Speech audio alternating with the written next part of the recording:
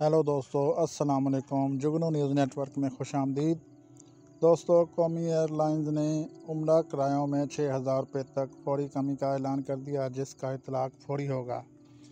इस हवाले से तर्जमान पी आई ए का कहना है कि लाहौर, इस्लामाबाद, सियालकोट, पेशावर, मुल्तान, फैसलाबाद से जद्दा के लिए दो तरफा उम्र किराया। छः हज़ार रुपये कमी के बाद सतासी हज़ार रुपये अलावा टैक्स हो गया। तर्जमान पी आई ए का कहना है कि कराची और कोयटा से उम्र किराया छः हज़ार रुपये कम होकर उनासी हज़ार रुपये अलावा टैक्स हो गया। पाकिस्तान इंटरनेशनल एयरलाइन तर्जमान का कहना है कि उम्र किराया में तकरीबन 20 डॉलर कमी की गई है, जिसका इतलाक फौरी तौर पर होगा। वाज रहे कि इससे कबल लाहौर, इस्लामाबाद, सियालकोट, पेशावर, मुल्तान और फैसलाबाद से जद्दा के लिए दो तरफा किराया तिरानवे हज़ार रुपये जबकि कराची और कोयटा से किराया पचासी हज़ार रुपये था।